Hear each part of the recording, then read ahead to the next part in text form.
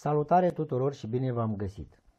Încep astăzi o serie de tutoriale referitoare la o aplicație pe care eu o consider mult subestimată de către utilizatori și care permite realizarea unor produse multimedia de excepție. Este vorba de aplicația PowerPoint. PowerPoint face parte din pachetul de aplicații Office al firmei Microsoft și la fiecare nouă versiune a aplicației au fost adăugate funcționalități noi care să permită utilizatorului realizarea unor produse digitale de o mare calitate. Spun produse digitale deoarece cu ajutorul aplicației PowerPoint nu se realizează doar prezentări, după cum ați fi fost tentat să credeți, ci chiar și produse multimedia video și audio cu un aspect profesional și de o calitate ireproșabilă. Iar pentru a vă trezi și mai mult curiozitatea, vă spun că micul generic pe care l-ați văzut la începutul acestui tutorial a fost editat, cam greu de crezut, în PowerPoint. Tot în PowerPoint se mai pot face tutoriale, chestionare și chiar jocuri. Să începem. Aplicația PowerPoint poate fi folosită în două moduri. În modul online, adică în interiorul unui browser, modalitate pentru care am avea nevoie de un cont Microsoft, și în modul offline, ă, situație în care va trebui instalată suita Office în calculatorul personal. Pentru început să vedem cum putem porni aplicația în modul online. Deschidem un browser și în bara de adrese vom scrie ppt.new. Se observă că în acest browser sunt deja logat cu un cont, care este chiar un cont de EduCred.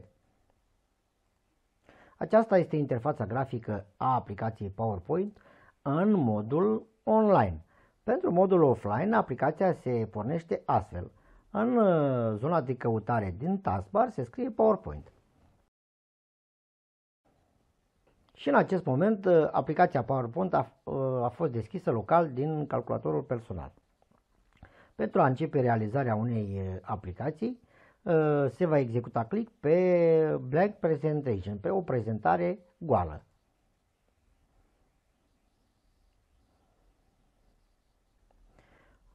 În modul online se observă că regăsim exact aceleași elemente pe care le găsim și în aplicația instalată local. Dar asupra diferențelor uh, dintre elementele aplicației în mediul online și în mediul offline, voi uh, reveni ulterior pe parcursul acestui tutorial. Pentru început să ne familiarizăm cu interfața grafică a aplicației uh, instalată local în calculatorul personal.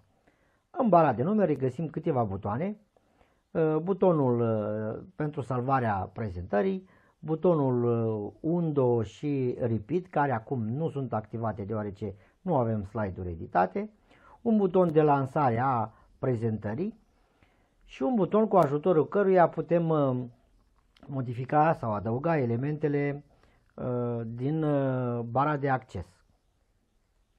În partea dreaptă din bara de nume regăsim uh, o zonă în care ne este afișat contul cu care suntem uh, logați în aplicație. În acest moment eu sunt logat cu un cont EduCred. Apoi un buton cu ajutorul căruia putem uh, ascunde sau afișa bara cu elemente numită și ribbon și bineînțeles cele trei butoane specifice fiecarei ferestre din uh, mediul Windows, minimizare, maximizare și închidere. Apoi uh, urmează zona de meniuri care începe cu meniul File, uh, în care regăsim o serie de comenzi extrem de utile. Apoi meniul Home, meniul Insert, Design, Transitions, Animation, Slideshow, Review, View și Help. În funcție de elementele care sunt adăugate în interiorul slide-urilor, în această zonă a meniurilor, uh, mai pot apărea diferite meniuri specifice elementelor pe care noi le introducem în diapozitive. Tot în zona de meniu regăsim un uh, buton, o zonă destul de utilă atunci când uh, ar trebui să parcurgem o cale lungă către o anumită funcție a aplicației. De exemplu, dacă dorim să introducem uh, o anumită iconiță în interiorul unui slide, putem scrie în această zonă Insert Icon. Și la acționarea tastei Enter, ni se va deschide direct uh, fereastra cu respectiva funcție a aplicației.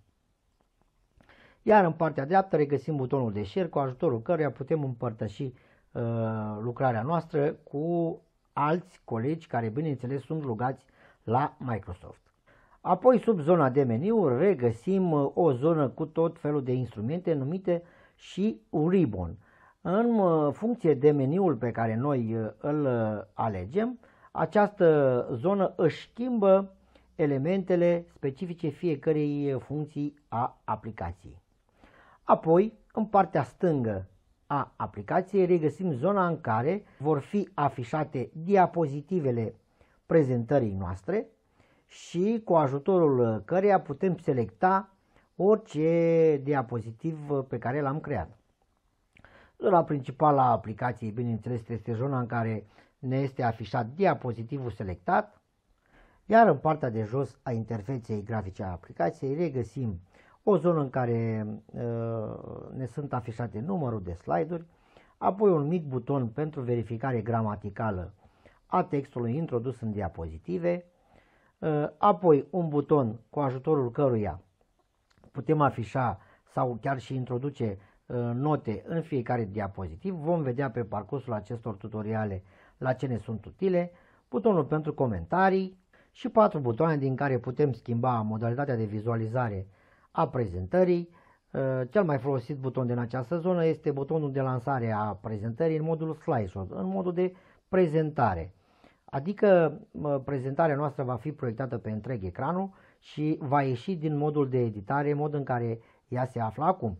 Regăsim și un buton de tip slider prin care putem redimensiona diapozitivul în interiorul aplicației și în dreapta jos un buton de uh, redimensionare a diapozitivului la dimensiunile prestabilite. Comparativ cu interfața grafică a aplicației în modul online, uh, în acest mod regăsim butonul Share sub o altă formă, butonul Comments și butonul de prezentare, dar funcționalitatea acestor butoane este similară cu a aplicației din modul offline. Tot în modul online regăsim un buton cu ajutorul căruia putem uh, deschide prezentarea noastră în PowerPoint pentru editare sau doar pentru vizualizare.